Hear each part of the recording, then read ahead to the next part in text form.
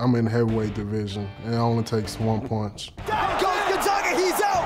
The Black Beast, yet again! I'm a brawler, so you know I'm not going to go out there with the the prettiest kicks and prettiest punches and nothing like that. You know, I'm going in there trying to knock your head out, swinging and banging. That guy fights like a madman. Legit stoppage power in both hands. I'm way more dangerous than what guys realize.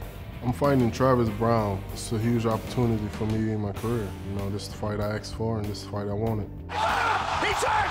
That's it! That's it! Travis Browne has done it! I believe Travis is a top 10 fighter. I believe he's gonna bring out the best fighter in me. I know he feel like his back against the wall, and I know he's gonna come out with his hair on fire. I'm expecting Travis to come out like a heavyweight, you know, come swinging and banging, you know, and that's exactly what I'm gonna do too. Oh, big elbows oh. by Derrick. Oh, he's hurt. If I land my shot, you know, I believe it only is only gonna take one punch. You know, I believe if I could just land it just one time, you know, it'll be over with quick.